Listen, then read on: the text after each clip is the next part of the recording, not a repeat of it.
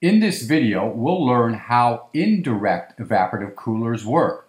By using indirect evaporative cooling, some buildings can eliminate mechanical refrigeration-based systems while reducing environmental impact.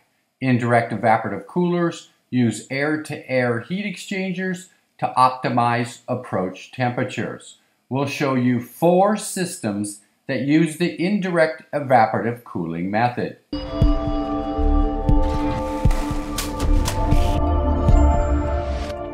Indirect evaporative cooling in a data center. An indirect evaporative cooler can be used to cool a data center while saving large amounts of energy. See our video on data centers for a better explanation of the systems used for cooling data centers. Hot air from the servers is captured in a hot aisle and brought into the indirect evaporative cooler where it travels through the primary side of the heat exchanger where it gives up its heat to the secondary side. See our video on heat exchangers for a better understanding of plate and frame heat exchangers. The cold air is then sent back to the data center through an underfloor distribution system. The cold air exits through floor grills and travels back into the server racks where it picks up the heat of the servers and begins the cycle again. On the secondary side of the indirect evaporative cooler's heat exchanger, there are fans mounted on top of the unit that pulls outside air through the heat exchanger as water is sent trickling down, causing the water to evaporate and absorb heat through the walls of the heat exchanger. If the indirect evaporative process can't meet the load because of unfavorable outdoor ambient conditions, a second phase of cooling can be added. This secondary cooling can be achieved by using a DX or chilled water coil. Indirect evaporative cooling of air-cooled chillers. Indirect evaporative cooling is also used to cool down the condenser coils of an air-cooled chiller. Panels containing wetted medium can be attached around the air-cooled chiller effectively closing off the pathway for the condenser fan inlet air. This causes the condenser inlet air to travel through the media, which is sprayed with water based on the ambient temperature and the compressor's liquid line temperature.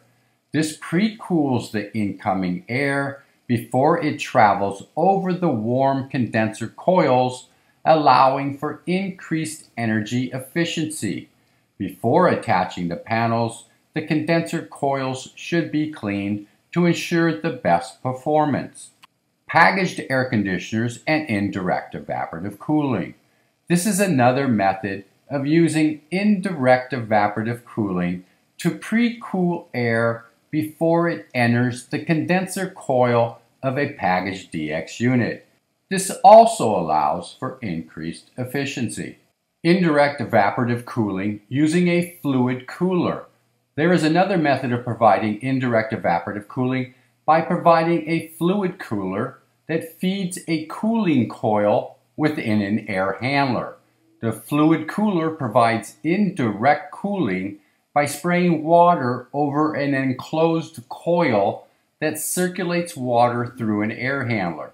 The coil in the air handler absorbs heat from the space or outdoor air and circulates it to the tower where it gives up its sensible heat to the cool, moist air.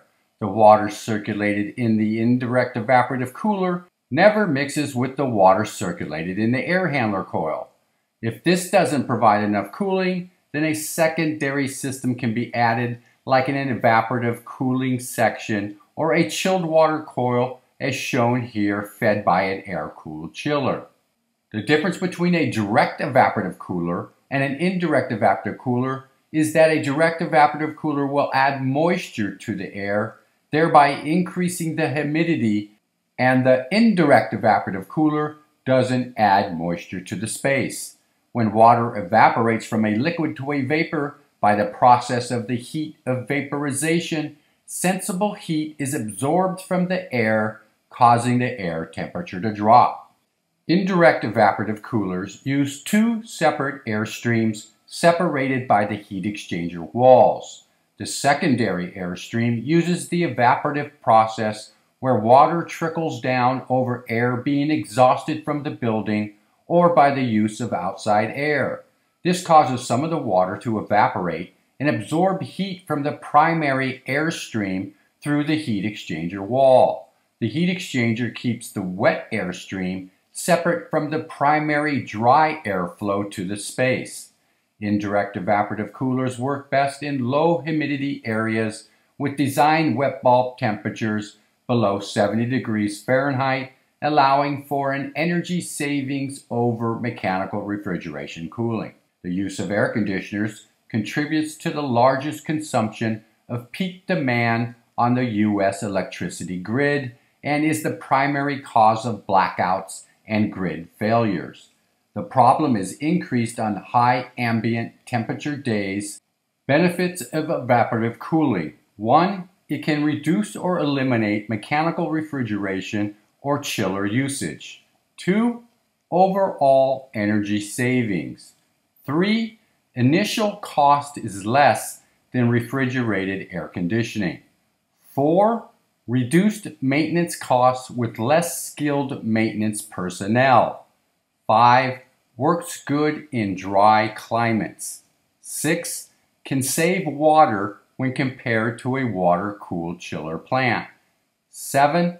The ability to increase the amount of outdoor air for improved indoor air quality. 8. Environmentally friendly as there are no refrigerants, CFCs, or HCFCs. If you like that video, please give it a thumbs up and subscribe to our channel. Thank you.